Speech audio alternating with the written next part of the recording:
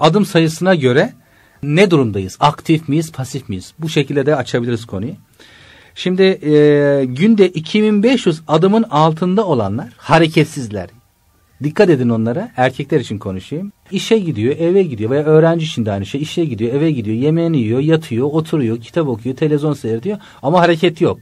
Şimdi öyle adamlara dikkat edin. İleriki yaşlarında 40 yaş üzerinde göbekli adam.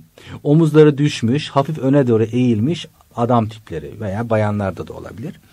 2500'den 5000 adım arası atanlar limitli hareketli. Ha biraz kurtarıyor. Limitli ama yani daha daha dur. E, ortada daha sağlığına faydası olmamış yani bu adımları. Efendim 5000 ile 8000 olanlar düşük hareketli olarak biz görüyoruz. 7500 ile 10000 arası kısmen hareketli. Ben onların kime bağlıyorum? Mesela 7500 10 bin adım olanlara, kısmı hareketli olanlara kime bağlıyorum? Köyde yaşayan, mesela benim babama bağlıyorum. Giresun'da fındık bahçesinde. Yani 7500 10 bin adım babam yapıyor. Bir fındık bahçesine gidiyor, bir bahçeye gidiyor, bir eline tırpan alıyor, efendim bir odun kesiyor getiriyor. Eve gelip istirahat ediyor gidiyor. Bu hareket var ya istirahat, yemek ve hareket. Orada memlekette görüyoruz onlar kilolarını koruyorlar o yüzden.